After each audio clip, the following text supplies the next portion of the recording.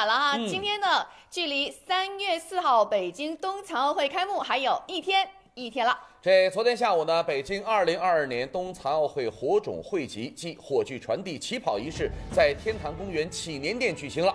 中国残疾人艺术团团长、中国特殊艺术协会副主席台丽华手持采火棒，遵循古希腊传统的火种采集方式，使用凹面镜采集太阳光，成功引燃了采火棒，采集到最后一路火种夏奥之火。而这一火种象征着北京双奥之城的独特魅力。2005年春晚，二十一名聋哑孩子表演的《千手观音》成为晚会上最受欢迎的节目。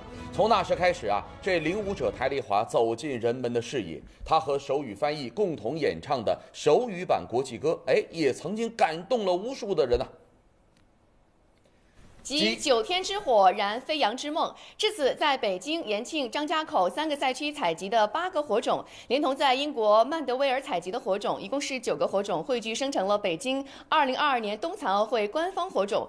北京冬残奥会火炬传递也正式起跑。这个呢，我们一会儿再细说啊。这说完了神圣的火种，咱们再来聚焦国家体育场鸟巢。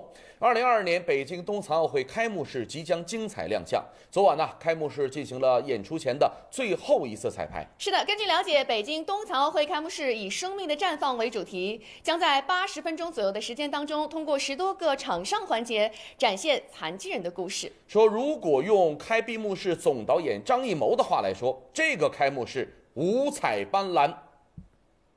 已经跟冬奥开幕闭幕不一样，冬奥还是打的冰雪蓝，而我们是这样的一种五彩斑斓的感觉，表达出热烈的情感，打动人心的情感来。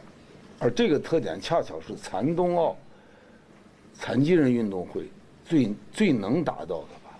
我们加班加点都可以，就是把这一场表演和这一场流程，这个会议就开幕式，把它充满感情。如果我们能把这个突出，也许我们就就成功了。